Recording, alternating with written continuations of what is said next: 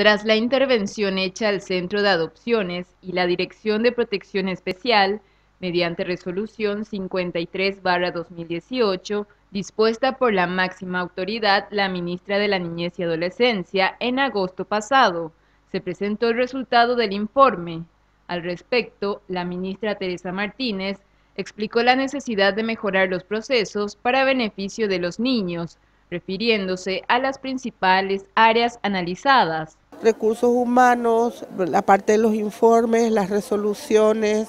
eh, todo lo que hace a las familias acogedoras, todo lo que hace a los plazos de los postulantes para la adopción y también una línea que se abrió de quejas de la ciudadanía, de, los distintos actores que intervienen en los procesos de adopción. ¿verdad? El porcentaje muy elevado de las irregularidades en el sentido de que había expedientes que no estaban registrados, oficios que no estaban registrados, lo cual genera todo un caos en los procesos y es una de las principales causas de las moras, porque nada que ingresa puede tener un seguimiento.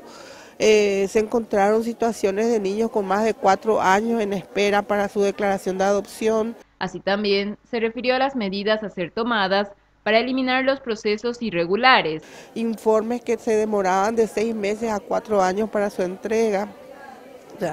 una situación que por todo, desde todo punto de vista es irregular y afecta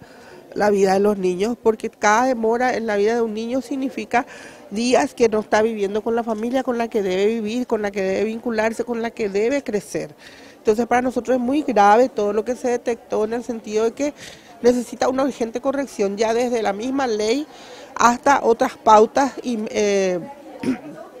protocolos y manuales de intervención, que es lo que ya estamos haciendo. Entre las propuestas del informe, también se encuentra mejorar la articulación y la coordinación de acciones, ofreciendo servicios de calidad en el marco de la eficacia y la eficiencia institucional,